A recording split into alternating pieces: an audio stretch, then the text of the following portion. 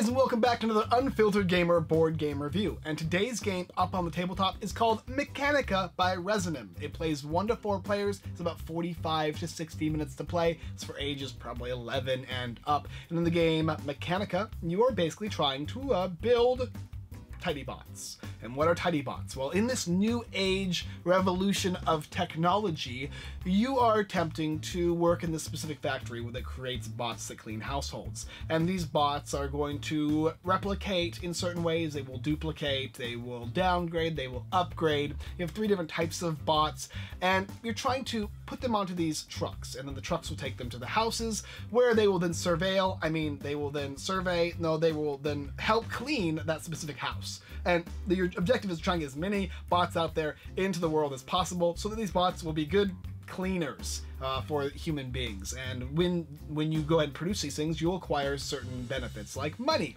Uh, there's also specific objectives like blueprint cards that you're going to try and obtain while building specific types of bots based on the bots requirements or wishes for you to build.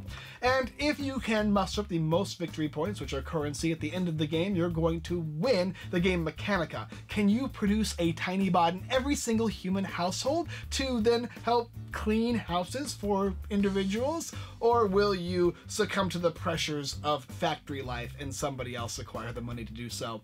That's the basis of the game. Let's go ahead and take a look down below. I'll show you how to play this interesting game that actually plays inside of the box and outside of the box as you build your TidyBot factory. So here is Mechanica and everything provided in the game. And as you can see, a lot of high quality products. There are the four player boards where players are going to place them in front of them, as well as they're going to gain currency. This is the currency here, ones, fives, tens, and twenties. You'll get eight currency to start the game, a first player marker, and a single player chip. These here are the player aids, which will tell you how to play the game. There's the start of the workday everybody participates in, and then it'll go turn by turn doing these four steps, nothing on the back, because this is all you need to know to play the game. Additionally, every single player is going to get one of these bidding boxes that will secure you victory points or currency throughout the game.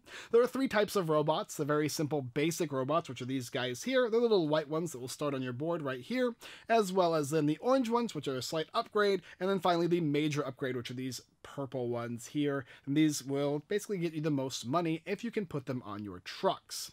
There's also this box here, and this box is what you're going to be playing with in addition to your play space in front of you.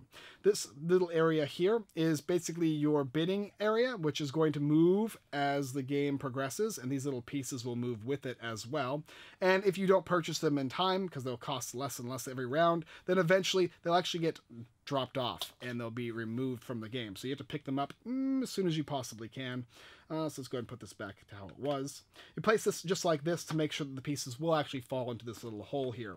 Uh, additionally, too, there are these little blueprints here, which being uh, when your robots go from one space to the next, basically from your fabricators here into your trucks, if you have the right types of robots, like for instance, this one here requires two white ones, an orange, and a purple one, you can get rid of those instead of gaining currency and put 30 currency inside of your little uh, box or safe here.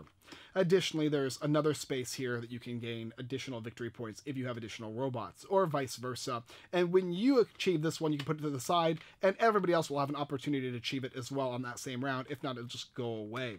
You have the forks, which will allow you to connect certain places to certain other places. As you can see, there's these pipes here that go along into the trucks here, and you can use forks to make certain things move in certain directions. There's also the larger trucks, which you have big trucks, which can actually hold two robots as opposed to just one, and then the huge trucks here, which can hold three as opposed to two. You can purchase these individually and then upgrade them to here, or you can simply just buy the big ones outright if you would like, but just make sure you set these aside so players can purchase all three of these different types on their own turn. Uh, forks cost one, big trucks are three, and huge trucks are five.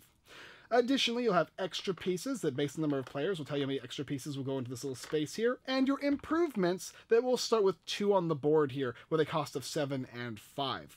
Now, the game's pretty simple. You're going to first of all start by preparing your board, make sure you have your little character here, and run through the start of the workday period, which is going to say to move all bots from one one area all the way to the next area. So one hole to the next hole. And in this case, it'll just go like this, from here, following this line, to here.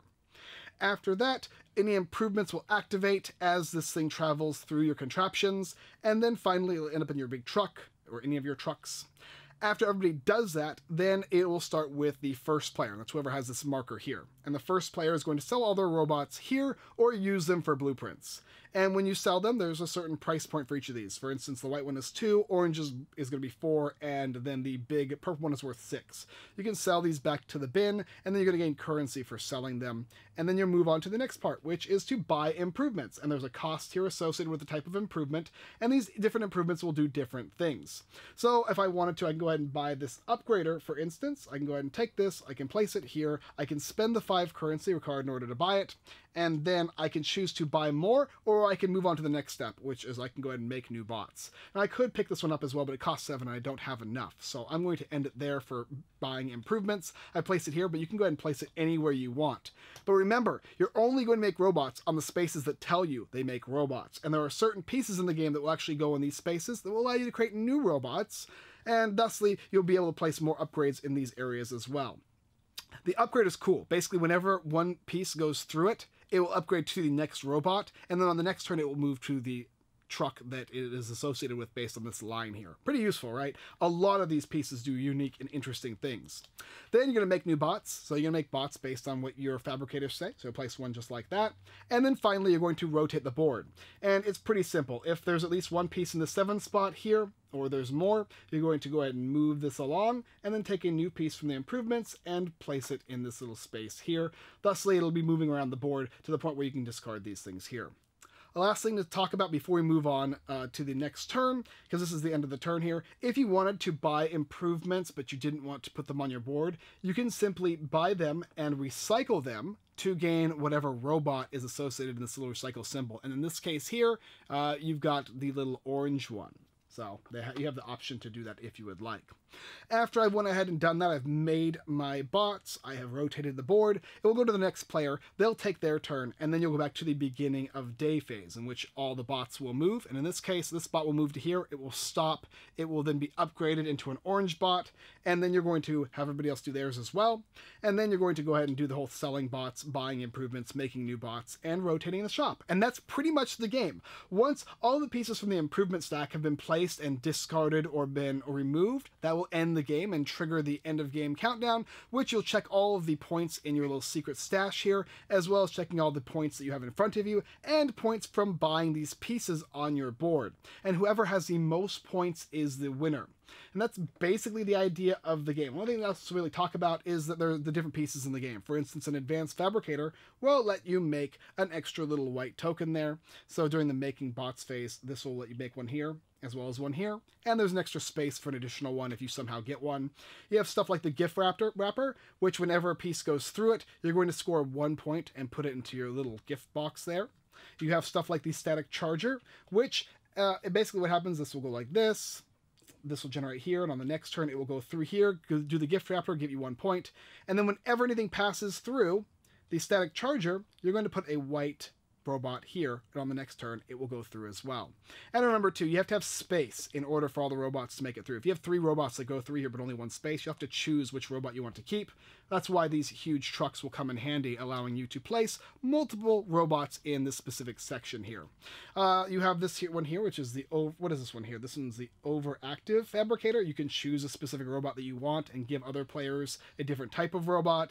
You've got things like the upgrader, which we talked about already. This is the repurposer, which will allow you to spend two robots to get any robot of your choice, and so on and so forth. And you'll be building these pieces here. You'll be using your forks and attempting to make the best factory possible to make the best robots you can possibly make, to score the most points, make the most money, and make sure you can get a robot surveying, cleaning every household in America. Mechanica is a brilliant looking game. As you can see, these pieces alone are really, really well done. They're very sturdy and they feel great. They look great. The artwork in the game is excellent. It does exactly what I would like it to do in one of these like dystopian type futures where robots are trying to get humans to do their bidding by getting these cleaning robots into everybody's house to which they will then control the world. Has this unique little humorous tone to the entire rulebook and explains the game pretty well. The only one little critique I actually have about this game in terms of the rules is when you are recycling certain pieces,